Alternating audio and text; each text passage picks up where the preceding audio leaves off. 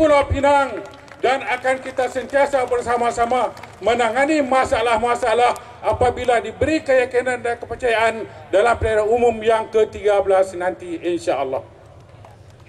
Tuan-tuan yang saya hormati sekalian, sekarang bila saya berdepan di hadapan ini melihat di hadapan ini ramai di kalangan masyarakat masyarakat Tengah yang selama ini yang bagi saya selama semenjak saya berada dalam sebagai pimpinan Parti PAS bermula tahun 86 dah 30 tahun lebih dah. Hari ini saya melihat ramai di kalangan masyarakat terutamanya masyarakat Cina duduk di hadapan ini.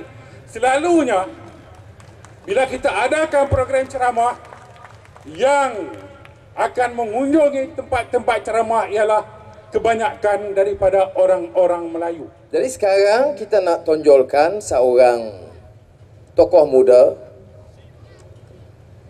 latihan sains politik dari Amerika Syarikat.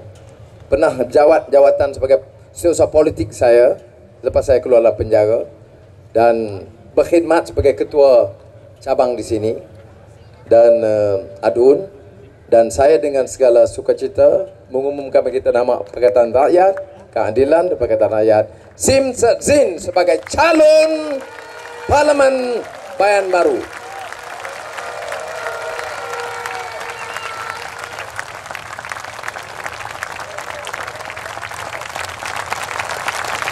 Kita caw caw kamak caw.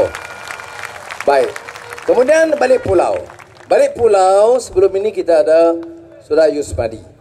Dan Yusmadi menjadi seorang di parlimen yang baik di parlimen dan saya ucap terima kasih atas khidmat dia dan susah payah dia bawa perubahan dan khidmat.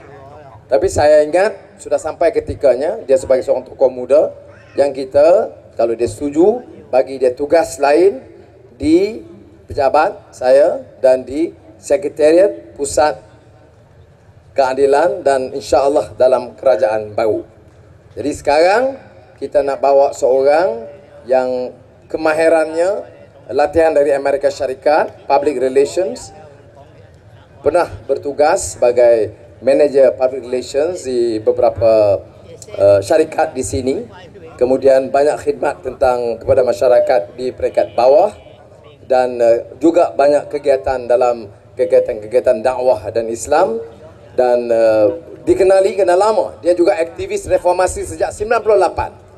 Jadi saya dengan segala hormatnya akan mengumumkan bahawa calon parlimen balik pulau mewakili keadilan Pakatan Rakyat Saudara Haji Bakhtiar.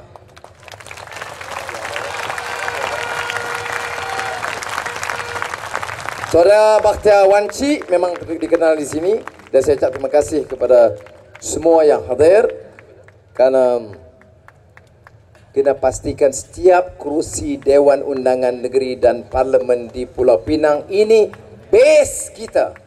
Pulau Pinang kubu Pakatan Rakyat. Kita bagi ruang sedikit pada AMNO, dia ambil tanah kita. Kita bagi ruang sedikit pada AMNO, dia pergi tergajang pejabat ketua menteri kita. Cara kita ajar, kita benamkan AMNO di Pulau Pinang ini dan kita pastikan semua calon DAP keadilan PAS di Pulau Pinang menang dengan majoriti besar mandat kepada kerajaan di bawah pimpinan Lim Guan Eng. Terima kasih. Reformasi. Lawan tetap membujur lalu melintang.